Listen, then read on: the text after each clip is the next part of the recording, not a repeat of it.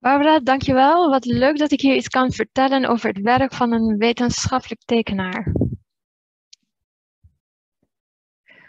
Voor mij is de wereld van planten echt bijzonder interessant en inspirerend. Hoe meer planten ik teken, hoe meer planten ik tegenkom, mag bestuderen, ontdek, hoe bijzonder de wereld voor mij wordt. Voor Naturalis werk ik part-time en teken ik daar voor de wetenschappers. Maar ook buiten Naturalis om schilder ik heel veel planten en probeer ik ze zoveel mogelijk op papier te vangen. Het begon voor mij in Leiden toen ik biologie studeerde. En toen liep ik per ongeluk tegen dit vak wetenschappelijk tekenen aan. Er is een master Scientific Illustration die in Maastricht wordt gegeven en die ben ik toen gaan doen. Ze hebben daar, daar deden we dan tekenopdrachten van schedels tekenen tot operaties in het ziekenhuis tekenen. Ik tekende daar geen planten, maar de tekenproblemen kwamen wel allemaal voorbij. Dus hoe werkt schaduw? Hoe werkt perspectief? We kregen verschillende tools te gebruiken, van potlood, inkt, aquarel tot uh, digitale tekenprogramma's. Toen ik studeerde, toen kwam ik in dienst van het Nationaal Herbarium in Nederland, in Leiden, als botanisch illustrator en dat fuseerde naderhand met het Naturalis Biodiversity Center. En daar ben ik nu dan in dienst als botanisch illustrator. We hebben ruim 40 miljoen objecten en het is eh, heel in inspirerend om deze planten of uh, deze objecten te mogen tekenen voor het onderzoek. Deze objecten bestaan uit planten, maar ook dieren, geologische objecten, gesteenten, fossielen en meer. Maar wist u dat we met vier illustratoren waren bij Naturalis? Mijn collega's Erik-Jan Bos, Bas Blankvoort en Inge van Noordwijk, zij tekenen vooral de dieren, voor de wetenschap. Ze tekenen ook wel voor het museum of de educatieve afdeling, wie wat nodig heeft. En ik teken vooral de planten. En die teken ik met name voor de wetenschap. Van onderzoekers, postdoctorale onderzoekers tot PhD-kandidaten en studenten. Wat ze nodig hebben voor hun publicaties. Van schema's tot een serie bloemen tot nieuwe soorten met alles erop en eraan. Van planten, bloemen, bloemen uit elkaar gehaald, eh, vruchten, zaden, haren, klieren, alles erop en eraan.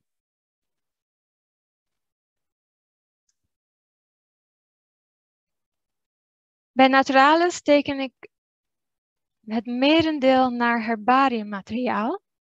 We hebben zo'n 5,7 miljoen gedroogde planten. En de onderzoekers zoeken uit de collectie voor mij uit wat er getekend moet worden. Ze weten waar ik zit, dus ze lopen langs en dan uh, krijg ik van hun dat herbariummateriaal. Dat bespreken we, wat ze getekend willen hebben. Uh, zoals hier links is een soort van Euphorbiaceae. Dit was een nieuwe soort die ik getekend heb voor Peter van Welzen en zijn student. Dus zoals je ziet van plant, wortels, um, haren, klieren, bloem, bloem uit elkaar gehaald. Die was ontzettend interessant. Hele rare haren die om het vruchtbeginsel heen zaten. Uh, vrucht, zaden, zaden met hele diepe gleuven. Leuke uitdaging was dat voor mij. Ik teken ook naar collectie op ethanol. Zoals uh, bloemen van deze kossensoort. Of van orchideeën en dat soort uh, vlezige bloemen krijg ik vaak te tekenen op ethanol. Uh, de kleur verdwijnt wel, maar de vorm houdt zich heel goed. En dat helpt enorm bij het reconstrueren van de plant. In het herbariummateriaal is alles platgeslagen. Hoewel een heleboel goed te bestuderen is uh, ik wel ook uh, heel veel bloemen op in heet water. En dan worden ze weer zacht en beweegbaar en kan ik ze makkelijk uit elkaar halen zonder te veel stuk te maken. Maar bloemen op ethanol die behouden hun vorm en dat helpt enorm bij het tekenwerk. Deze specifieke soort hier rechts die had een bepaald kleurpatroon op de petalen. En samen met de onderzoeker bespreek ik dan waar dat dan precies zit. En dan probeer ik dat in de tekening op te nemen. Ik teken ook naar levende collectie. Die is te vinden in de Hortus Botanicus Leiden. Onderzoekers als Barbara Gravende en haar PhD-studenten werken aan collectie bij de Hortus. Um, zoals de orchideeëncollectie, de Nepenthes-collectie of andere planten. En die bestuderen zij dan verder dan op het laboratorium ook, bij Naturalis. De plant hier rechts is een orchidee. Ook dit was een nieuwe soort. Ik heb die getekend van plant, bloem tot aan pollinarium. En uh, deze soort is een aantal jaar geleden beschreven. En vernoemd naar Jane Goodall, de bekende primatologe die ook de wereld nu rondreist, alhoewel het nu online gaat allemaal. Lezingen geeft en voor de natuur opkomt. Zij is toen voor deze benoeming naar Leiden gekomen. Het was echt een enorme eer haar te ontmoeten en heel inspirerend om haar lezing te volgen. En het inspireert ook met het werk, het, het, tekenen van de planten om daarin door te gaan. En ik teken planten in het veld. Wat ook echt een geweldige ervaring is. Het voegt ook enorm veel toe aan de tekeningen, want ik zie precies hoe de planten groeien, eruit zien, in het veld staan met de planten eromheen. Um, ik heb een keer gehad dat ik in de hortus een bepaalde plant moest tekenen.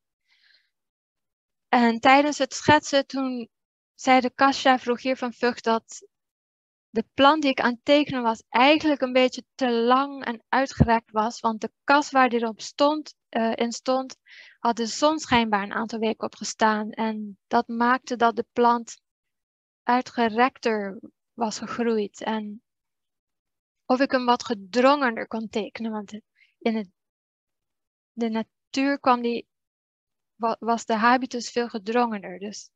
En dat kan ik dan gemakkelijk aanpassen. Maar in het, de planten in, het, uh, in de natuur te zien in het veld voegt dus op die manier zoveel toe aan de tekeningen. Daarnaast vind ik het geweldig om de natuur in te gaan en ook de mensen te ontmoeten die gespecialiseerd zijn in planten in die gebieden en, en, hun kennis van hun eh, te leren. Dit is een voorbeeld daarvan. In juni ben ik met uh, Dick Kerkhoff, Barbara Gravendeel en Jean Klaassen naar een gebied in Vianen geweest. Waar een orchidee stond, of nog steeds groeit, die van oorsprong in Amerika voorkomt. Hier links ziet u Dick Kerkhoff door het gebied lopen en de planten tellen. En hier rechts een aquarel die ik heb gemaakt van deze glansgroeforgus met de Nederlandse planten eromheen in dat gebied. En het landschap, hoe dat er daaruit zag en het idee erin gesuggereerd van hoe die orchidee misschien daar gekomen zou kunnen zijn. Een ander voorbeeld is de hyacinthorgus, die vorig jaar door Casper Zuiderduin in de duinen van Noordwijk is ontdekt. En deze plant mocht ik dan tekenen en schilderen. Um, ook hier eh, hebben we de populatie bekeken, kon ik de plant goed bestuderen, schetsen, kleurnotities maken. En het was ontzettend leuk om van Casper heel veel te leren. Uh, als boswachter werkt hij voor Staatsbosbeheer. En een heel indrukwekkend moment vond ik toen, toen dit jaar de orchidee in bloei stond in de sneeuw in februari. Ik denk dat u allen als plantenliefhebbers, floristen en botanici ook van dat soort momenten meemaken van bijzondere planten, bijzondere momenten of bijzondere mensen die u ontmoet. En dat hoop ik te vangen op mijn papier. Maar goed, waarom maak ik dan illustraties? Dit is een voorbeeld waarmee ik dat hoop uit te leggen. Links ziet u een foto van de waterwaaier en rechts een foto van een, een illustratie van deze waterwaaier. In de illustratie ziet u precies hoe de bloem in elkaar zit, hoeveel petalen, hoeveel meeldraden, hoe, hoe, hoe die, blad eruit ziet tegenoverstaand. Dat is gewoon moeilijk te zien in de foto. De foto heeft een bepaalde chaos die een botanisch illustrator weglaat in de tekening. Uh, de illustrator kan alles laten zien zoals wij en de onderzoekers dat willen zien. Van een vooraanzicht, van een zijaanzicht, uitvergroot, niet uitvergroot. Um, als er iets stuk is, uh, kunnen we dat uh, heel tekenen. Uh, bepaalde dingen kunnen we toevoegen.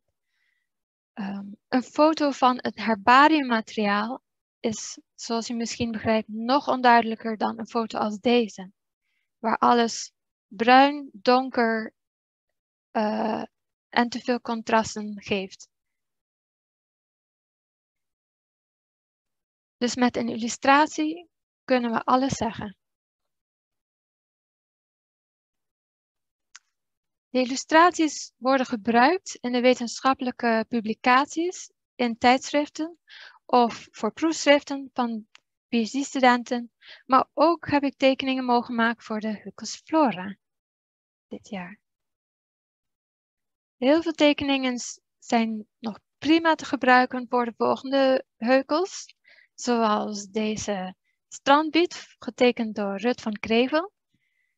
Of dit Caucasisch vergeet me niet, getekend door Jan van Os. Maar er zijn ook wat tekeningen die ik heb moeten aanpassen voor de 24e editie. Zo was er bijvoorbeeld een plant dat had haar. En uh, ik heb met Leni heeft mij geadviseerd waar, hoe, wat anders moest. En dat hebben we allemaal besproken. Bijvoorbeeld bij deze had ik dus al dat haar weggefotoshopt. Hier links ziet u een carex. De bloeiwijzen waren in orde, maar de urntjes en nootjes waren niet helemaal duidelijk genoeg om de drie soorten te determineren. Dus we hebben samen bekeken hoe we dat het beste konden weergeven en heb ik nieuwe tekeningen gemaakt. Hier rechts van deze straatswolfmelk heb ik een vrucht toegevoegd. Linksboven in de tekening. Nieuwe illustraties gemaakt van soorten die in de heukel stonden, zoals links van deze veenorgus en rechts zaden van een drietal Montia soorten. Ter verduidelijking bij het determineren. En ik heb een aantal tekeningen gemaakt van nieuwe soorten die zijn opgenomen in de heukels. Links de waterwaaier, waar we zojuist naar keken. En rechts van pampasgras. En die was wel een uitdaging, omdat die bloeiwijzen bleven wegwaaien als ik maar even ademde. Dus iedere keer moest ik dat weer terug uh, bij elkaar halen. Op een gegeven moment had ik het spul overal, maar leuk. Maar goed, hoe maak ik zo een tekening? Vanmiddag om drie uur heb ik een workshop. Als je interesse heeft, ik heb tips en trucs voor u. Maar ik begin een tekening altijd met een schets. Ik bekijk de plant van allerlei aanzichten.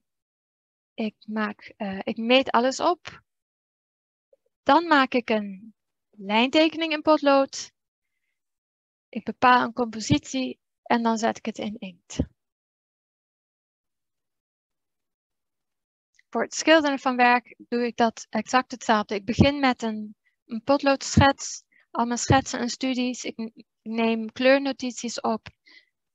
Dan maak ik een compositie, een lijntekening en dat schilder ik dan. Maar vanmiddag wat meer daarover dan. Mocht u wat meer willen lezen over het vak botanische illustratie, ik heb een boek geschreven over de hyacinthorgels, gepubliceerd door de KNV-uitgeverij en te vinden op hun website. Ik hoop u hiermee een interessant kijkje gegeven te hebben in het werk van een wetenschappelijk tekenaar. Voor mij is dit een enorme inspirerende wereld en ik ben heel benieuwd wat er nog meer in 2022 op het pad komt. Heeft u nog vragen?